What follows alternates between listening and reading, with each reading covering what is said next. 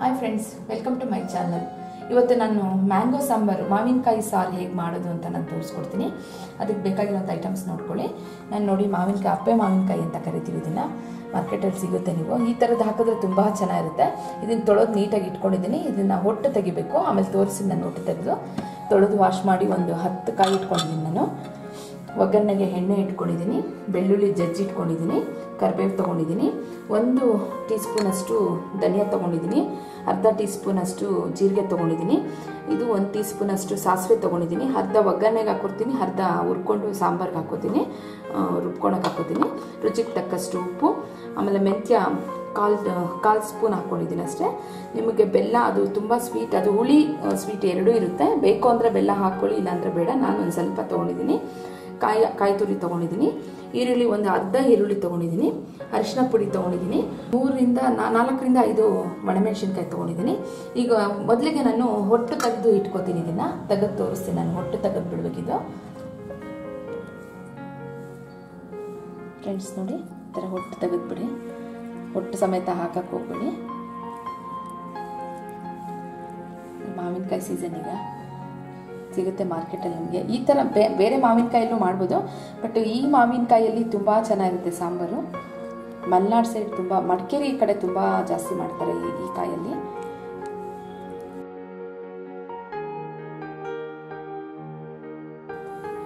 Friends ಮೊದಲಿಗೆ stove ಅಂಟಿಸ್ಕೊಂಡು ಒಂದು PAN ಇಟ್ಕೊತಾ ಇದ್ದೀನಿ. ಈಗ ಒಂದೊಂದೇ ಹುರ್ಕೊಳ್ಳೋಣ. ಮೊದಲಿಗೆ ನಾನು ಸಾಸಿವೆ ಹಾಕೋತಾ ಇದ್ದೀನಿ. ಒಂದು ಅರ್ಧ ಹಾಕೋತೀನಿ ಇನ್ನರ್ಧ ಒಗ್ಗರಣೆಗೆ ಇಟ್ಕೋತೀನಿ. ಜೊತೆಗೆ ಧನಿಯಾ ಹಾಕೋತಾ ಇದ್ದೀನಿ. ಜೊತೆಗೆ ಮೆಂತ್ಯ ಹಾಕೋತಾ ಇದ್ದೀನಿ. ಜೊತೆಗೆ ಜೀರಿಗೆನೂ ಹಾಕೋತಾ ಇದ್ದೀನಿ. ಒಂದು ಕಾಲು ಕಾಲು ಟೀ ಸ್ಪೂನ್ ಇದೆಲ್ಲ ಹುರ್ಕೊಳ್ಳೋಣ. ಜೊತೆಗೆ ಮೆಣಸಿನ್ಕಾಯಿ ಹಾಕೋತಾ ಇದ್ದೀನಿ. ಒಂದು ನಾಲ್ಕು ಮೆಣಸಿನ್ಕಾಯಿ ತೊಗೊಂಡಿದ್ದೀನಿ.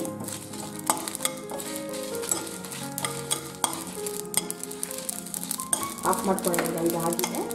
ಫ್ರೆಂಡ್ಸ್, ಇದೆಲ್ಲ ಮಿಕ್ಸಿ ಮಾಡ್ಕೊಳ್ಳೋಣ. ಈಗ ಒಂದೊಂದೇ ಹಾಕ್ಕೊತೀನಿ ನಾನು. ಕಾಯಿ ತುರಿ ಹಾಕೋತೀನಿ ಈರುಳ್ಳಿ ಸ್ವಲ್ಪ ಹಾಕೋತೀನಿ ಹಾಕ್ಕೊಂಡು ಈಗ ಒಗ್ಗರಣೆ ಮಾಡ್ಕೊಳ್ಳೋಣ. ನೀರು ಹಾಕ್ಕೊಂಡು ಸ್ವಲ್ಪ, ಸರಿ, ಮಿಕ್ಸಿ ಮಾಡ್ಕೊಳ್ಳೋಣ ಇದನ್ನು. ನೀರು ಹಾಕ್ಕೊಂಡು ಸ್ವಲ್ಪ. ಫ್ರೆಂಡ್ಸ್ ನೋಡಿ, ಈ ಥರ ನುಣ್ಣಗೆ ರುಬ್ಕೊಬೇಕು.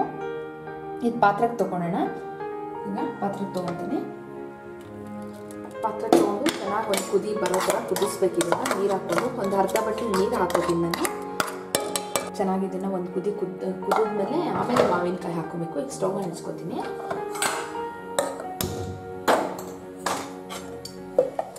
ಗಟ್ಟಿ ಇದೆ, ಇನ್ನೊಂದು ಸ್ವಲ್ಪ ನೀರು ಹಾಕೊಳ್ಳೋಣ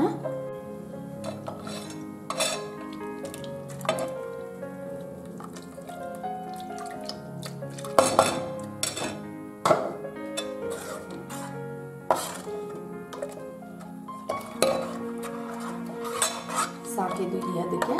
ಈಗ ಅದಕ್ಕೆಲ್ಲ ಉಪ್ಪು ಹಾಕೋತೀನಿ ನಾನು. ಸ್ವಲ್ಪ. ಈಗ ಅರಿಶಿನ ಹಾಕೋತೀನಿ ಒಂದು ಚಿಟಿಕೆ. ರುಚಿಗೆ ತಕ್ಕಷ್ಟು ಉಪ್ಪು ಹಾಕೋಣ ನೋಡ್ಕೊಂಡು ಹಾಕೊಳ್ಳಿ. ಮಾವಿನಕಾಯಿ ತುಂಬ ಸ್ವೀಟ್ ಇದೆ ಅಂತಂದರೆ ಬೆಲ್ಲ ಹಾಕೋದು ಬೇಡ. ಸ್ವಲ್ಪ ಹುಳಿ ಸ್ವೀಟ್ ಎರಡೂ ಇದೆ ಅಂದರೆ ಸ್ವಲ್ಪ ಬೆಲ್ಲ ಹಾಕೋಣ ಫ್ರೆಂಡ್ಸ್ ಎರಡು ಪುರಿ ಬಂದಿದೆ. ಹಸಿ ವಾಸನೆ ಎಲ್ಲ ಹೋಗಿದೆ. ಈಗ ಮಾವಿನಕಾಯಿ ಹಾಕೋತೀನಿ. ನೋಡಿ. ಸಿಪ್ಪೆ ತೆಗೆದಿಟ್ಕೊಂಡಿರೋ ಮಾವಿನಕಾಯಿನ ಮೀಡಿಯಮ್ ಫ್ಲೇಮಲ್ಲಿ ಇಟ್ಕೊಂಡು ಒಂದು ಎರಡು ನಿಮಿಷ ಕುದಿಯೋಕ್ಕೆ ಬಿಡಿ ಸಾಕು. ಆಮೇಲೆ ಆಫ್ ಮಾಡ್ಕೊಳ್ಳೋಣ. ಹಾಗೆ ಸ್ವಲ್ಪ ಬೆಲ್ಲ ಹಾಕ್ತಾಯಿದ್ದೀನಿ ಲಿಡ್ ಒಂದು ಪ್ಲೇಟ್ ಒಂದು ಲಿಡ್ ಕ್ಲೋಸ್ ಮಾಡಿಬಿಡಿ. ಪ್ಲೇಟ್ ಕ್ಲೋಸ್ ಮಾಡ್ತಾ ಇದ್ದೀನಿ. ಮೀಡಿಯಮ್ ಫ್ಲೇಮಲ್ಲಿ ಇಟ್ಟು ಒಂದು ಎರಡರಿಂದ ಮೂರು ನಿಮಿಷ ಕುದಿಸ್ಬೇಕು.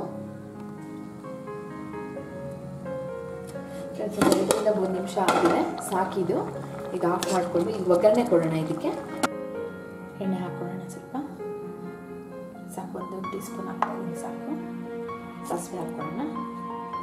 ಸಾಸಿವೆ ಹೆಚ್ಚು ಬಿಟ್ಟಿದ್ಮೇಲೆ ಬೆಳ್ಳುಳ್ಳಿ ಜಜ್ಜಿ ಇಟ್ಕೊಂಡಿದ್ದೀರಲ್ಲ ಅದನ್ನು ಹಾಕ್ಕೊಳ್ಳೋಣ. ಮೇಲೆ ಬೆಳ್ಳುಳ್ಳಿ ಹಾಕೋಣ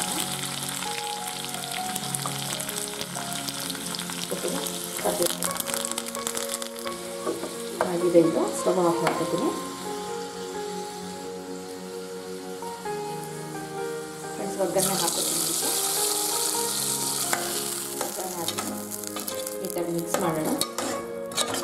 ಇದು ಹಾಕಿದೆ ಇದಕ್ಕೆ ನಾನೊಂದು ಬೌಲ್ ಸರ್ವ್ ಮಾಡ್ಕೋತೀನಿ. ತುಂಬ ಚೆನ್ನಾಗಿರುತ್ತೆ ಟೇಸ್ಟಾಗಿರುತ್ತೆ ಫ್ರೆಂಡ್ಸ್ ಮಾವಿನಕಾಯಿ ಸಾಂಬಾರ್ ರೆಡಿ ಆಗಿದೆ ಇವಾಗ ಮಾವಿನಕಾಯಿ ಸೀಸನ್ನು ನಿಮಗೆ ನಿಮ್ಗೆ ಇದೇ ಥರ ಮಾವಿನಕಾಯಿ ಸಿಗಲಿಲ್ಲ ಅಂದರೆ ಮಾಮೂಲಿ ಮಾವಿನಕಾಯಿಗೂ ನೀವು ಈ ಥರ ಸಾಂಬಾರು ಮಾಡ್ಕೊಬೋದು. ತುಂಬ ಚೆನ್ನಾಗಿರುತ್ತೆ ಟೇಸ್ಟು ಅನ್ನಕ್ಕೆ ಚೆನ್ನಾಗಿರುತ್ತೆ, ಮತ್ತು ರೊಟ್ಟಿ, ಚಪಾತಿ, ದೋಸೆ, ಇವಕ್ಕೆಲ್ಲ ತುಂಬ ಚೆನ್ನಾಗಿರುತ್ತೆ. ಇಲ್ಲ, ಇದೊಂದು ಸೈಡ್ ಡಿಶ್ ಆಗಿ ನಾವು ನಂಚ್ಕೊಳಕ್ಕೆ ಇದನ್ನು ಮಾವಿನಕಾಯಿನ ಯೂಸ್ ಮಾಡ್ಬೋದು. ತುಂಬ ಚೆನ್ನಾಗಿರುತ್ತೆ ಟೇಸ್ಟು ಮನೆ ಮಂದಿ ಎಲ್ಲ ಇಷ್ಟಪಡ್ತಾರೆ. ನೀವು ಮಾಡಿ ಮನೇಲಿ ಮಾಡಿ ನನಗೆ ಕಾಮೆಂಟ್ಸ್ ಮೂಲಕ ತಿಳಿಸಿ. ಈ ವಿಡಿಯೋ ನಿಮಗೆ ಇಷ್ಟ ಆಗಿದ್ರೆ ಲೈಕ್ ಮಾಡಿ, ಶೇರ್ ಮಾಡಿ, ಹಾಗೆ ನಮ್ಮ ಚಾನಲ್ಗೆ ಸಬ್ಸ್ಕ್ರೈಬ್ ಮಾಡ್ಕೊಳ್ಳಿ. ಪಕ್ಕದಲ್ಲಿರೋ ಬೆಲ್ ಐಕನ್ನ ಕ್ಲಿಕ್ ಮಾಡೋದ್ರಿಂದ ನಾನು ಹಾಕುವಂಥ ಹೊಸ ಹೊಸ ವಿಡಿಯೋಸ್ ನೋಟಿಫಿಕೇಶನ್ ನಿಮಗೆ ಬರುತ್ತೆ. ಪ್ಲೀಸ್ ನಮ್ಮ ಚಾನಲ್ಗೆ ಸಬ್ಸ್ಕ್ರೈಬ್ ಮಾಡ್ಕೊಳ್ಳಿ. Thank you